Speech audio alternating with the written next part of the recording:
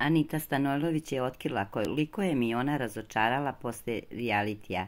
Anita Stanojlović, pobjednica elite, otkrila je u intervju za premijera svoje planove za naredni period, iako je istakla da je potreban odmor. Anita je najavila da će uskoro krenuti sa putovanjem sa svojim sinom Aleksejem. Anita je otkrila da se nedavno preselila u Beograd, da je sada često u društvu Anđela Rankovića, ali da još uvijek nisu počeli da žive zajedno.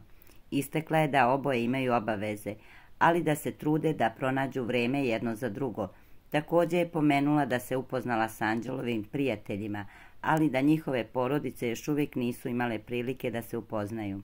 Nikako da se odmorim, ali sutra krećem sa detetom, sa mojim Aleksejom idem na odmor. Nisam uspjela da se odmorim od svega, radila sam na svom projektu. Večeras ću sve da otkrijem, krila sam to od svih pa i od Anđela, rekla je Anita. Napokon sam mirna, mnogo toga je trebalo da se desi, da bi sve bilo kako treba da bude. Što se tiče Anđela i mene, ja sam se preselila u Beograd, često smo zajedno, ali imamo oboje obaveza, tako i ja.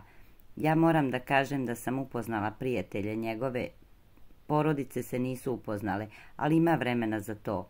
Moram da kažem da sam se prepustila i sto od sto mu verujem i sada se ja uklapam u sve to, rekla je Anita. Ona je potpuno otkrila da je ona, Anđelo, još uvijek nisu počeli da žive zajedno. To nemamo još u planu, idemo lagano i to je to, rekla je Anita, pa je priznala da li se čula sa Matorom. Ne, nemamo nikakve kontakt, niti me to zanima. Ona me spominje i proziva. Malo sam ispratila neke stvari oko Ivana i Jelene. Ne dajem nikome na značaju, dodala je Anita pa je priznala koju je razočarao. Mi ona me jako razočarala, najviše sam je zavolela, a ona mi se ne javlja, rekla je Anita u emisiji premijera Vikend specijal.